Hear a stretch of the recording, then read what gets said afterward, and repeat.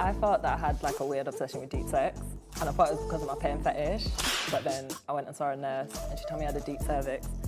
Oh, so you could just naturally take wood. like what?